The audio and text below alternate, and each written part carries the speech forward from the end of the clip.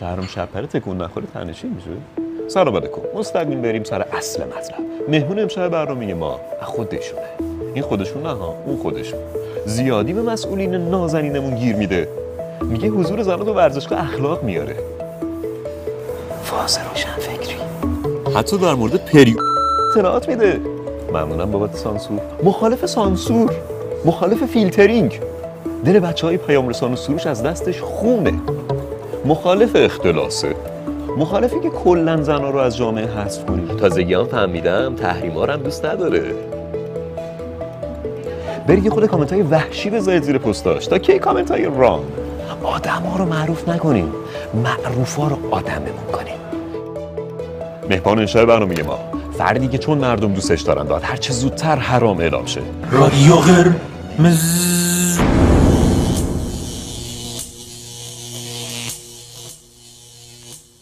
بله.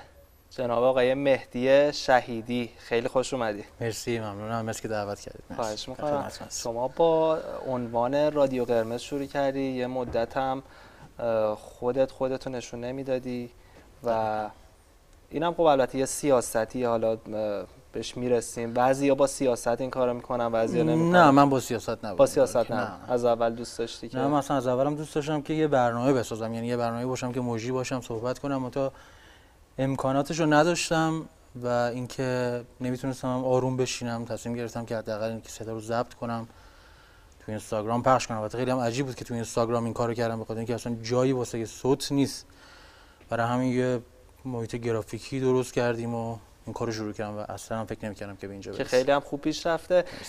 یه اتفاقی که افتاده اینه که حالا مردم شما رو الان یه هایی می‌بینن و شاید حالا تصویر سازی بکنن از کسی که پشت این صدا هاست و شما هم یه شکل و شمایل خیلی مردونه بعد اون صداهای ریشاره اون صدای زیری که شما چند تا کرکتر داری؟ عمو قرمزی که خودتون هستی بله. نیم قرمزی که همچنان خودتون هستی. رب قرمزی. خب قرمزی هم هست و یه دونم بابا قرمزیه.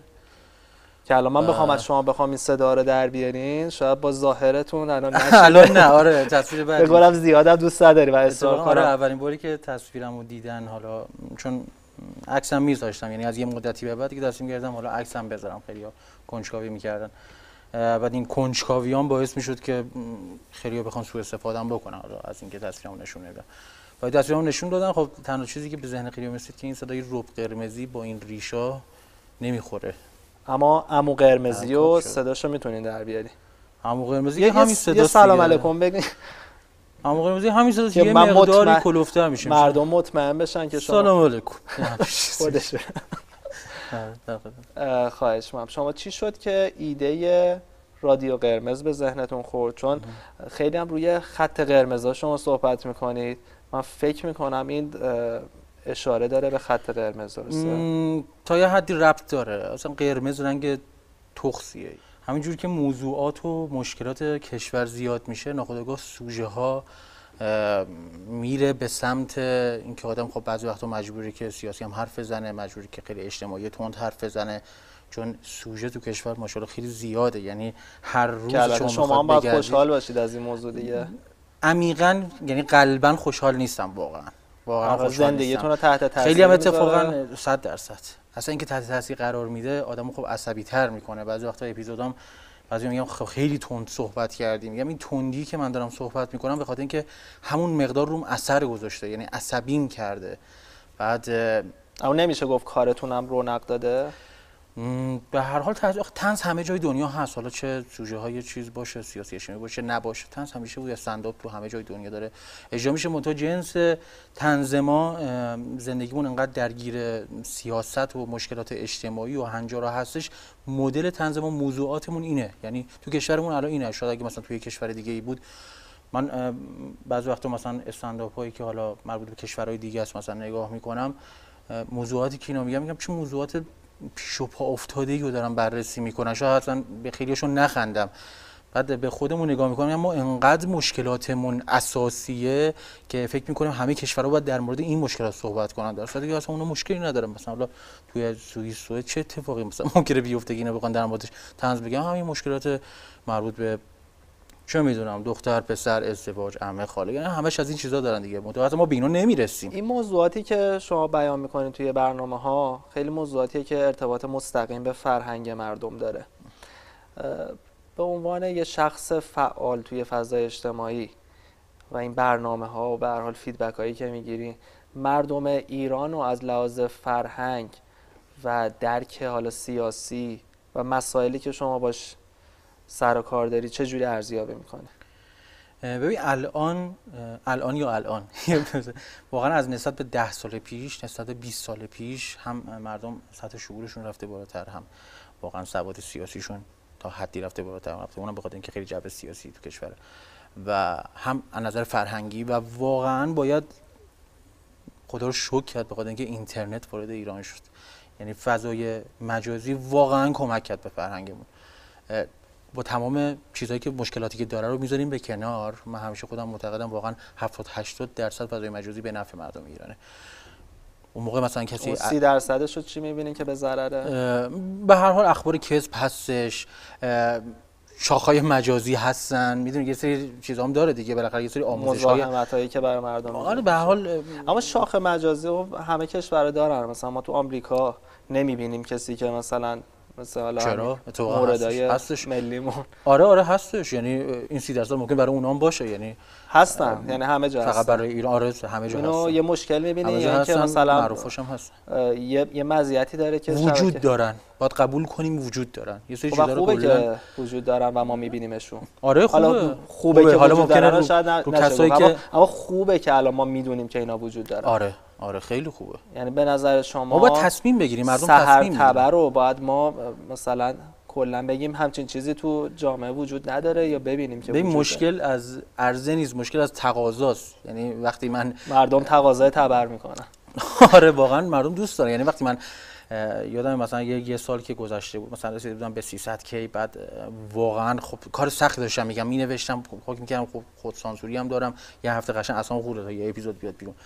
بعد یهو می‌بینم که خب مثلا یه نفر مثل حالا مثال زدی سحر تبه یهو مثلا تو یه شب می‌رسه به 500 کی. خب می‌دونید آدم عصبانی میشه در لحظه ولی خب چیزی که اون لحظه به فکرش میاد که خب اینا وجود دارن و میان و میرن. یعنی کاریش هم نمیشه کرد. یعنی که حالا ما سحر تبر رو بگیریم دلیل نمیشه که حالا ده تا دیگه بشینن سر جاشون. نه هستن میان. مشالله که الان جاشون ترکیه است دیگه. هر کی هر چی میشه پا میشه به ترکیه. اینا وجود دارن. و کاریش هم نمیشه کرد. حالا برای سر بحث اینترنت. یعنی حالا یه, یه سوال در ارتباط با همین موضوع بکنم. شما معتقدین که اینها این این قشر نباید باشن؟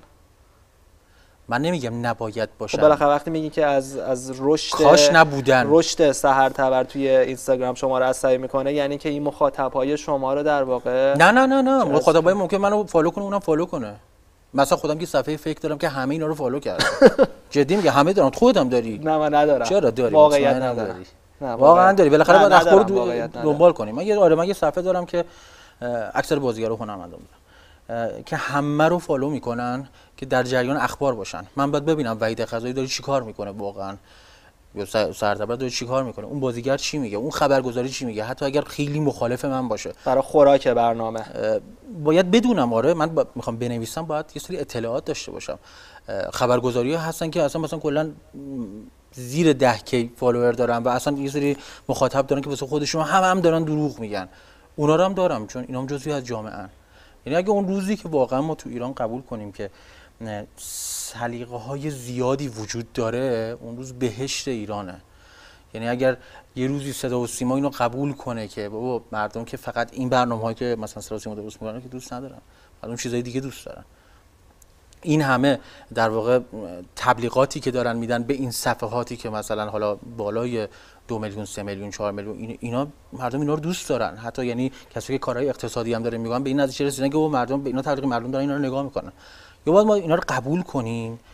یا نمیشه که بگیم اصلا اینا وجود ندارن. این صدا و سیما این قابه ما این چیزهایی که مردم دوست دارن. واقعا نمی‌تونیم. باید سلیقه ها زیاده. به نظر من اگر یه ذره به این سلیقه ها توجه بشه به جای اینکه هی نفی کنی نه اصلا همچین چیزی نیست همچین چیزی نیست. بیا جمع جمعشون کنین آقا هر کی چی میگه. بیاد نظراتتون رو بگید. یه همچین برنامه‌ای که تو اینستاگرام درست شده واقعا بیشتر گرفته تا این برنامه‌ای که مثلا بابا طرف مثلا کلا هر دفعه مثلا دو میلیون خرج می‌کنه یه میلیون خرج می‌کنه یه دونه پست اینستاگرامی می‌سازه حالا یه آیتم. کلی هم همه خنده و شده مثلا با چقدر؟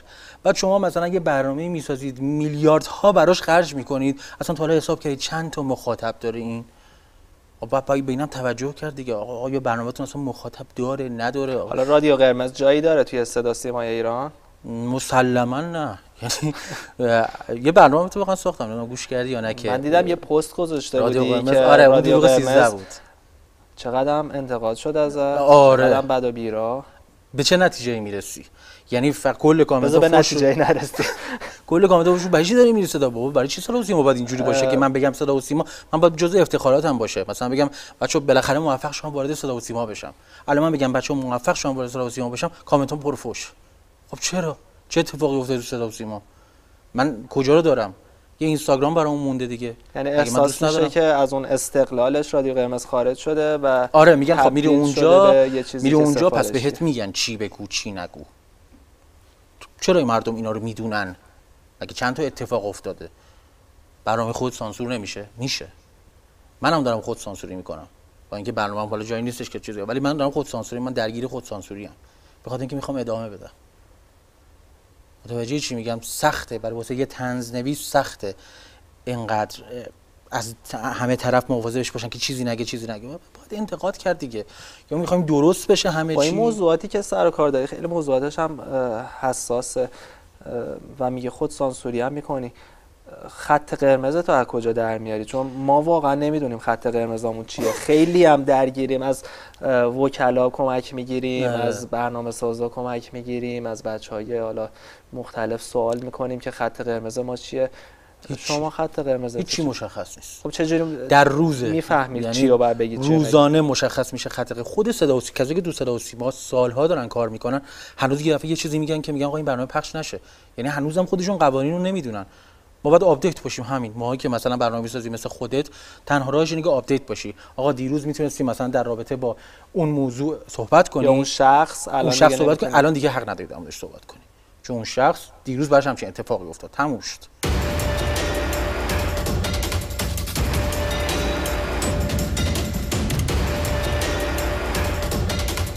و همه اینا باعث شد که شما مطالبی که قبلا توی فیسبوک می نوشتی و دوستان می گفتن مطالب خوبی طنز خوبی داری کم آره کم اون موقع در مثلا یه در, برنامه در حد صفحه شخصی بود مثلا 150 60 نفر مثلا دوستان بودن. بعد حالا مثلا تبدیل شد به مثلا تا رسید به هزار نفر ولی که الان خب- یه جامعه مخاطب خیلی بزرگی داری. آره خب. و اینا خب به لطف شبکه های اجتماعی آره،. از جمله اینستاگرام بود. اگه اینستاگرام یه روزی فیلتر بشه واقعا فکر کنم احساس خطر بکنی از این قضیه چون به هر حال درآمدزایی و کار و همه زندگی و رادیو قرمز و اصلا به کاری به درآمد و زندگیم هم نداشته باشم مردم دیگه چیزی ندارن.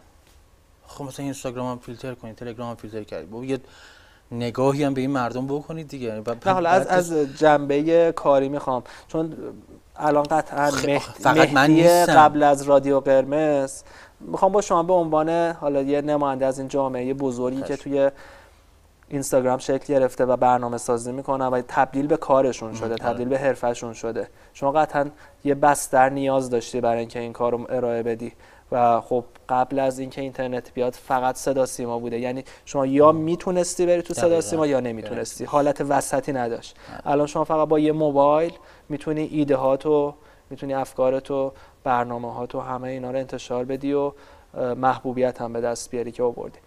اگر این شما شب بخوابی صبح پاشی ببینی اینستاگرام وجود نداره. چیکار می‌کنی؟ یعنی حالت چیه اون روز؟ خیلی بد. خیلی خیلی بهش فکر کردم. یه زمانی اینستاگرام خواستم فیلتر کنن.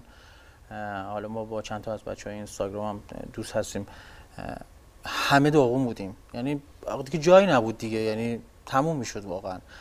منی که الان اومدم تو این حرفه و کارم به نحوی شده نوشتن حالا بیشتر از اینکه صدا گذاری صدا گذاری کنم کنم بیشتر نوشتنه چون تمام وقتم سر این میره. خب چیکار کنم؟ کجا بنویسم؟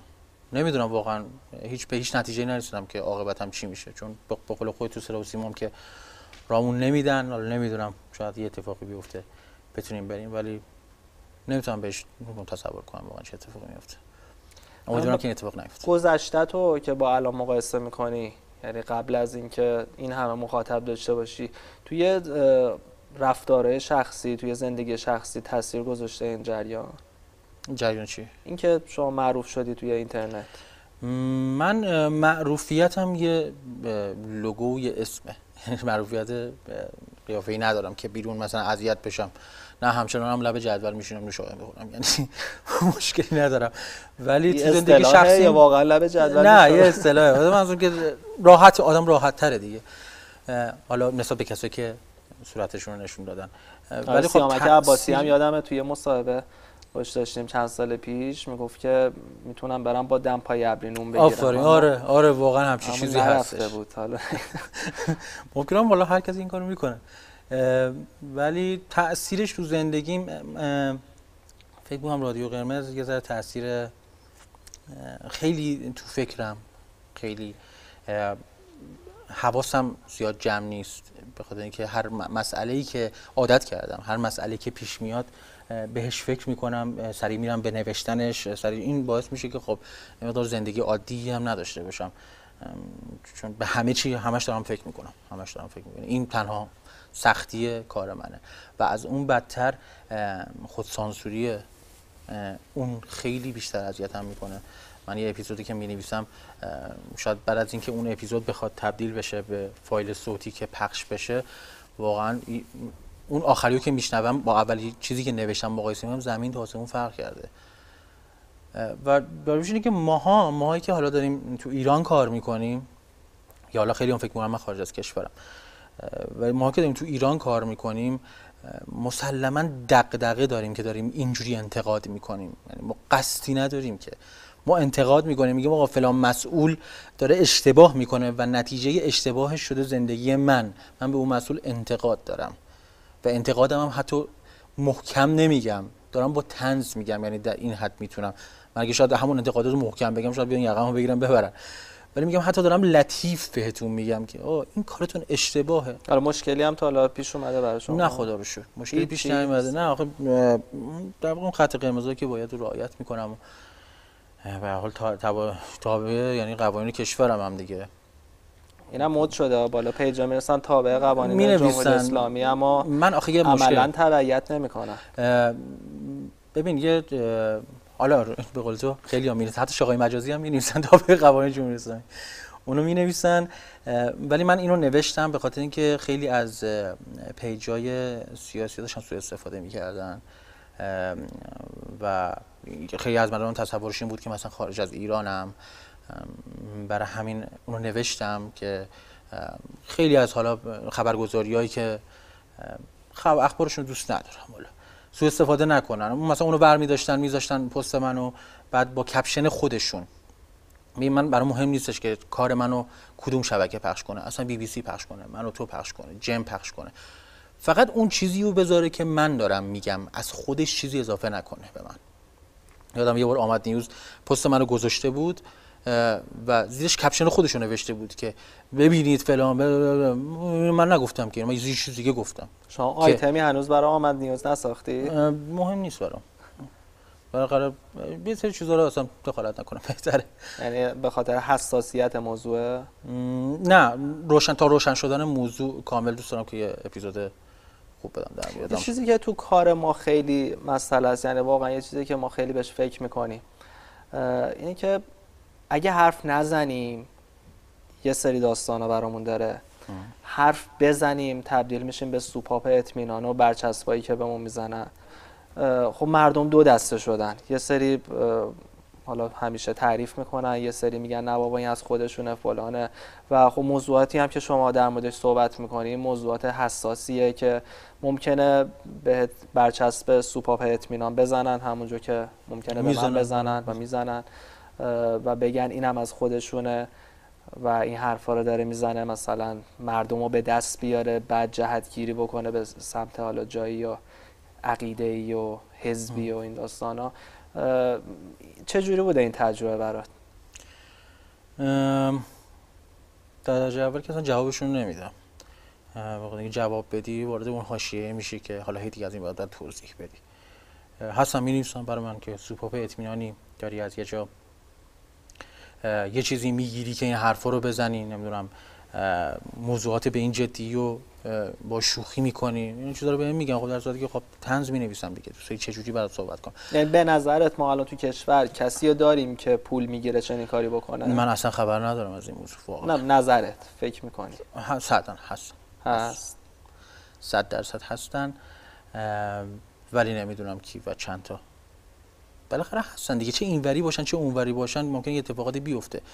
ولی من از خودم یعنی, راضیم. یعنی وقتی الان شما میگی که من جز اون دسته نیستم که پول بگیرم و یه سری کارا بکنم یعنی حالا سوپا و اطمینان که اصطلاح شده. وقتی میگی نیستم و مردم میگن هستی چرا اصلا اینجوری شده که یکی هم که واقعا نیست میگن هست؟ توهم توطعه یعنی یه چیزی تو ایران خیلی بابه. توهم توطعه داریم. همه دارن یه کاری می‌کنن این زیر. هیچکی نمی‌تونه چیز کار کنه. من تو با بچه های زود نیوز هم صحبت می‌کنم. زود نیوز هم جزو پیجاییه که خب اونم تقریبا تون صحبت می‌کنه. به خود خودش با هم دیگه بحثمون شد در مورد این قضیه. اونم گفتش که آره به منم خیلی زیاد میگن همچین چیزی و بکنم دلیلش این باشه که نمی‌دونم فضای بسته جامعه شاید اه، ابتدا خیلی بهتر شده. شاید تو چند سال اخیر مثلا جامعه مقدار فضاش بسته بود. بعد هیچی باورش نمیشه که بشه اینجوری هم انتقاد کرد. بعد به مثلا یک کسی اینجوری انتقاد می‌کنه میگم آباد تو داری از یه جا پول می‌گیری من اینا امکان نداره یه همچین اتفاقی بیفته. ولی خب باید قبول کنیم با تمام حالا سانسورایی که میشه به حال آزادی بیان ما به شکل کامل که نداریم. داریم ولی به شکل کامل نداریم. هم در همین حدی که ما داریم. از 100 درصد چقدر داریم؟ نمی‌تونم درصدی بگم. خب یه بحثی هست میگن آزادی بیان هست آزادی پس از بیان نیست. آره این بحث هم هستش. ما حالا خدا شکر تا الان که آزادی از بیان داشتیم. امیدوارم که یه ذره بازترم بشه. ببین همین همینو میگن سوپاپه. میگن تا دفاع کرد از آزادی بیان توی ایران. ببین اگه من بیام تون صحبت کنم بگم ما این کار باید انجام بشه خب نمیشه. یه چیز داشته. یعنی کل قضیه کارهای تصویری کلا کارهای مدیا تو ایران یه روندی داره که رو به بهبوده. واقعا می‌خوای جدی نگاه کنی. مثلا نسبت 15 سال پیش خب خیلی چیزا راحت تر شد تو تلویزیون. 15 سال آینده هم راحت تر و 100 درصد 15 سال آینده راحت تر میشه. پس یه مسیری رو که داریم طی می‌کنیم نمی‌تونیم هم سریع بپریم سر اصل مطلب. ما اون کسایی هستیم و شاید باشیم که اون لبه مرز رو داریم هی با پا می‌زنیم اونورتر تا جایی که بتونیم. و کل این قضیه این نیست که ما ما دوست داریم مسخرتون کنیم. نه اصلا همچین چیزی نیست. ما داریم انتقاد می‌کنیم به خاطر که هممون حتی تو به این اعتقاد داریم که می‌تونه جامعه بهتر از این باشه. به الان نمی‌تونیم بگیم بهترینیم که. به مشکلات اقتصادی و سیاسی همه هم همه چی داریم. مشکل این مشکلات باید رفع بشه. چجوری باید رفع بشه؟ باید یه سری آدم پیدا شن که انتقاد کنن. خب اگه قراره که هر کی انتقاد کرد یه ذره چیز که بگیریمش که خب فایده نداره. که آقا بذار انتقادش کنی گوش کنیم شاید درست گفت. با من یه نفر سوپرمارکت سر کوچمون مثلا بیام پیش محمد آقا که مثلا سنش هم بالاست ممکنه یه حرفی بزنم که درست میگه بعدم نمیگه. باید گوش کرد دیگه نمی‌تونیم بگیم که آقا مثلا فلان بازیگر مثلا یه حرفی زده و درست هم هست. حالا نمیگم حالا همه درست میگم میگم آقا یک نفر یه بازیگری یه حرفی زده درسته. میان بهش حمله می‌کنن تو که بازیگری اصلا بیخود می‌کنی اظهار نظر می‌کنی میگم یه لحظه صبر کنید آره یه جو جو جدیدیه که آره، به وجود آفرین. اومده که جدیدیه. ضد سلبریتی ها هست که خیلی هم به نظرم بده که این اتفاق افتاد. یعنی اگه بحث آزادی بیانه خب چه مشکلی داریم که خب بذار حالا. صحبت کنه آره یعنی شنونده باید عاقل باشه از سمت خود مردم ایجاد شده حالا با نمی‌دونم حالا هدفی چیزی پشتش بوده یا نبوده این جای بحث. داره اما خود مردم دارن الان حمله می‌کنن به کسی که داره حرف می‌زنه این بحث محبوب کشی یه چند سالیه تو ایران خیلی باب شده. اصلا از آدمای محبوب نمی‌دونم چرا ترسناک شدن که نمونهش هم عادل فردوسی پوره دیگه. یعنی هنوزم که هنوزه بر از این همه مدت میزش و هندونه فروشی کردن مردم هنوز دوستشون دارن. دوستش دارن. خب این محبوب وقتی محبوبو می‌کشی خب محبوبیت خود از دست میره. من نمی‌دونم چرا از محبوبا استفاده نمی‌کنن. یعنی واقعا صدا و سیما می‌تونه خیلی محبوب باشه. و کافی همین آدمایی که محبوب شدن تو جامعه مردم دوستشون دارن بیارن پیش خودشون. چرا میندازنش بیرون؟ خب این بدتر می‌کنه قضیه رو. من احساس می‌کنم یه, یه کسایی بعضی وقتا یه تصمیمایی دارن می‌گیرن که کاش اون کسایی که دارن باشون کار می‌کنن و تو رده های پایینتری هستن یه بار جمعشن بگن مسئولی که داری این حرفو می‌زنی حرفت اشتباهه من میگم همه اصلا دیگه دارن میترسن یعنی رده های بالا.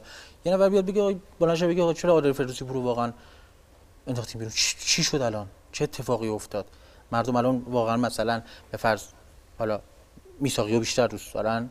آیا این اتفاق افتاد؟ تونستید جایگزین کنی هر کی جای خودش دیگه.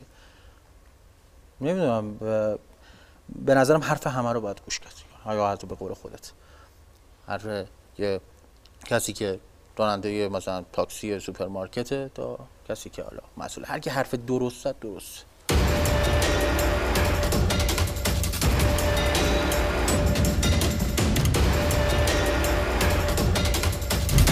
شما تا به حال پیشنهادی داشتی از شبکه های خارجی که بری اونجا کار بکنی مثلا برنامه تو اونجا درست کنی؟ نه پیشنهادی نداشتم. یعنی خودم یه جوری برخورد کردم که به هم پیشنهادم ندن. دوستم ندارم که برم. دوست داری همین ایران باشی و دوست دارم برنامه ایران باشم. آره دوست دارم م، همینجا. درسته سخته ولی اینجا رو بیشتر دوست دارم. آخه بعضی فکر کنم برن اون طرف. دیگه این انتقادایی که سوپاپ اطمینان و این حرفا رو می‌زنن اون بر کم میشه. در صورتی که باز اون طرفم میگن شما از دولت حالا هر کشوری پول گرفتی و باز جهت داره. واقعا من فکر کنم هنرمند توی ایران کلا برنامه ساز مخصوصا. یه قشر مظلومیه خیلی حالا. مظلوم. نه اینکه بخوام خیلی از خودم و خودت اینجا الان نه دقیقا درست داری. میگی. واقعا قشر مظلومیه. میگی. یعنی هر کاری بکنه حرف نزنه میگن چقدر پول گرفتی دهنتو ببندی. حرف بزنه میگن سوپاپ اطمینانی حرف دل من با یکی حالا اینجا بشینی شما انتقاد ازش بکنید چرا انتقاد ازش کردی؟ نکنید چرا انتقاد نکردی؟ یعنی هر راهی و هر سمتی بری یه عده. زیادی. یعنی واقعا ما اگه دسته بندی هم بکنیم هر کدوم این دسته خیلی زیادن. انتقاد می‌کنن فوش میدن. اما اینکه من از شما. بخوام بپرسم واقعا هدفت چیه؟ و برای مردم توی چند جمله مشخص کنی که هدفت واقعا سازندگیه. مردم فکر می‌کنم اعتماد نکنن و باز بگن که یه علتی پشتش آره پنهانه دقیقا. میگم هم به خاطر همون جوی که تو ایران هست دیگه. یعنی ما داریم انتقاد می‌کنیم که درست بشه همه چی دیگه. من که دوست ندارم منم دوست دارم الان لم بدم تو خونه رو. فیلممو نگاه کنم. ولی این دغدغه ها اجازه نمیده دیگه. حالا من اگر یه قدرتی دارم حالا یه قدرتی از خدا گرفتم که بتونم بنویسم درست خب بنویسم و بگم دیگه. یعنی بعد این دیگه حالا اینو این منو ول می‌کنه که میگه بگو بگو بگو. ولی به قول تو انقدر این فشارها هستش. حالا به ق- حالا مسئولین به کنار. دیگه مردم چرا؟ دیگه, دیگه خودشون که داریم تو, متن قضیه هستید. یا حالا مثلا در مورد سلبریتی ها صحبت کردی. یه جوی تو ایران شده خورده در موردش بحث کنیم. جو این که هر کی هر کاری می‌کنه هر کی هر مثلا طرف یه خونه می‌گیره یه حقوقی داره یه پولی تو چیز داره به همه مربوط شده. نمی‌دونم این جو واقعا این فرهنگ غلط اه، کدوم خبرگزاری اول مد کرد؟ چه کسی مد کرد که نه اگه تو جامعه ما بپرید- زندگی می‌کردیم که پول دارایی شبه نداشتیم ما یه دوره ای می‌بینیم که خیلی پول دارایی شبمون خیلی نه زیاد مثلا یعنی دارم میگم میلیاردرایی مثلا بازی من. کار ندارم به اونو که اختلاس می‌کنن و از این کارا. خب مردم مثلا همین می‌ذارن تو همون مثلا- کاتگوری دیگه. خب همون متاسفانه. او مثلا خب طرف بازیگره. خب حالا اصلا یه ماشین خوبم داره. خب کار کرده باشه. کار کرده پول پول در ورده داره. ما حالا تو چرا داری؟ تو داری حق ما رو می‌خوری. بازیگرا با پول ما با میشن میرن اونور هازا این بیت الماله این بیت بابا زندگی با اقتصاد اینجوری نیستش که. یعنی ما داریم به مردم یاد میدیم. میگم من نمی‌دونم کی داره این فرهنگو گسترش میده که. آقا هر چقدر بدبختتر باشید ارزشه من نمی‌دونم این ارزش از کجا آوردیم. این البته تو فیلمامون هم هستش. یعنی آدم یه بارم در مورد اپیزودی در موردش دادم که هر کی که مثلا یه رب بپوشه تو خونش میز بیلیارد داشته باشه نمی‌دونم اسمش آرش و سیاوش چیزی باشه و پولدار باشه بد جنسه. و کسی هم که یه زندگی ساده یه چیز داره یعنی بهترین زندگی. این قناعت و آره این- اینو داریم آموزش میدیم در صورتی که خب تو کشورهای دیگه شما نگاه کنید همه دارن تو توضیح میدن در چجوری پولدار بشیم چجوری بتونیم زندگیمون رو مثلا چند درجه بالاتر ببریم. اینا رو باید یاد بدیم. من نمی‌دونم چرا برعکس شده. این هم یعنی خودش خط قرمزا چرا چقدر قرمزی داره؟ خط قرمز هست. شما دارید ترویج میدی در واقع چیو بخوام ترویج. میدم؟ موفق. شدن رو که باید ترویج داد دیگه. این موفق شدن که نمیشه ترویج نداد. آقا یه آدم موفق میشه موفق نباید ترویج نه ببین. یه آدمی موفق میشه خب با زحمت خودش موفق میشه موفق میشه به یه به درجه می‌رسه که خب بالاخره پول هم در آورده در کنارش. حالا ما بعد از اینکه موفق شد چطور اون سالا رو ندیدیم که مثلا بیچاره شد طرف؟ به محض که موفق شد خب هممون اومد خب این پولا رو از کجا آوردی؟ بیت المال اینه دیگه. بابا مثلا مهران مدیری 20 ساله داره برای شما برنامه می‌سازه. حقش نیست که داره حالا ماشین خوبه حالا خوب زیر پاش باشه من نمی‌دونم. نه چرا ماشین خوب؟ این میگه باعث چی میشه؟ باعث این میشه که هر کی هر مسئولی که شما می‌بینید با اینکه بچه هاش آمریکان صد تا ماشین خوب داره چهار تا آیفون هم تو خونه داره چهار تا زمینم داره میاد تو مجلس با یه شلوار چروک با یه لباس مندرس با یه صورت نزده. خب ببین این چی رو ترویج کردیم ما؟ اینا هیچ وقت خودشون نشون نمیدن. اینا میگن ما اینیم در صورتی که خب پشت سر می‌بینیم که طرف بچه‌هاش تو آمریکا دارن عشق و حال می‌کنن عشق که واقعا ما آرزوشو داریم. خب نمیشه که اون بچه‌ها از خودشون پول در نیاوردن دیگه. معروف ترینش همون ساشا صبحانیه که حالا حتما دیدی. تازه اون از اون آدماست که حالا رفت جزو شاخهای مجازی هم شد دیگه فریاد زد هر چی که داره. خیلی فریاد نمی‌زنن همه مثلا باباشون بهش میگن آروم زندگی. میشه میگه اینا فریاد. این باعث شده که همچین چیزی بشه. همه تصویرایی مثلا احمدی نژاد نشون میدن که مثلا خوابیده روی زمین. اینا یه چیزاییه که نمایشیه. یه مسئول یه, یه نفر که می‌خواد نماینده مجلس بشه تا می‌تونه سعی می‌کنه که خودشو بدبخت و بیچاره نشون بده. به خاطر اینکه این ارزش شده. یعنی هر چقدر شما موجود باشه اگه ارزشه اگر واقعا اینجوری زندگی می‌کنی پس اون چه زندگیه که پشتش هست؟ خب همه یاد گرفتن دیگه. آقا ویترین باید این شکلی باشه. پشت سر هر کاری کردید کردید. مگه نماینده های مجلس فکر می‌کنید چند درصدشون آیفون داشته باشن؟ من مطمئنم 90 درصدشون آیفون دستشونه. بالاترین مدل هم دستشونه. ولی چه اتفاقی میفته یه بحثی میشه در مورد آیفون. از فردا همه آیفونشون رو می‌ذارن تو خونه 11 دو صفرشون رو میارن. به بحث اینکه میرن میان سوار ماشین خوبشون میشن آیفونشون رو روشن می‌کنن میرن قبول داری اینو یا نه؟ خودت. به نظر این اتفاق میفته اتفاقی که میفته قطعا. چیز پنهانی هم نیست. چرا خودتو مسئول می‌دونی تو این داستان. یعنی همه استادیوم رفتن خانوما حاصل کار دست جمعی رسانه و فعالای آره. حقوق زنان کسایی که سالیان سال حتی بازداشت شدن توی خود استادیوم واقعا. رفتن با شکل. مثلا مردون ظاهرشون رو تغییر دادن رفتن. چقدر رسانه رو موثر می‌بینید تو این داستان؟ خیلی. مثلا فضای مجازی. حالا یعنی شاید الان برای شکلگیری جامعه آینده خودتو سعی می‌دونی؟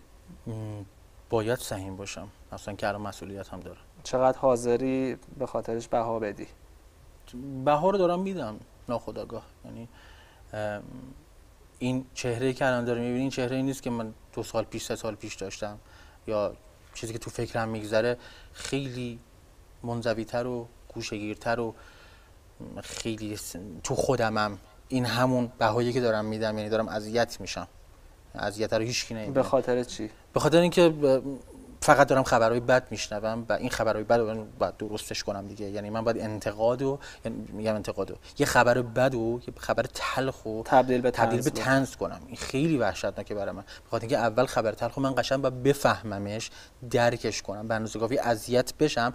بعد حالا بگم بالا اینو چجوری تنزش کنیم که به مردم بگیم. پس حقیقت تلخ نیست حقیقت تنزه حقیقت حقیقت که تلخه. تنز در واقع فقط نرمش می‌کنه دیگه. اون چیزی که تو می‌خوای بشنوی اون قدم خشمگیر نباشی یه ذره باش را بیای و همینم که بهمون میگن. شما دارید من همین مسائل رو عادی جلوه می‌دید در صورتی که عادی نیست. اینم اینم یه مدل گفتنه دیگه. کی فکر می‌کنی این مسائل وجود نداره که در موردش صحبت کنی؟ امیدوارم هر چه زودتر. مثلا. حالا ایدئالت. چیه؟ نمی‌دونم آخه خیلی چیزای زیادی هست. فکر مهمترین چیزش بحث اقتصادی باشه که اون حل بشه یه مقدار مردم آرامششون بیشتر میشه. ناخودآگاه دعوا رو تو خیابون کمتر می‌کنه. همین الان برو تو خیابون. یه چهار قدم دو تا خیابون برو این برتر هر کی داره با یه موبایل به یکی فوش میده یکی شکمش برگشت خورده یکی اینجوریه. جامعه داغونه دیگه یه ذره افسرده شده. شاید ما بتونیم با تنزمون یه ذره شاد کنیم.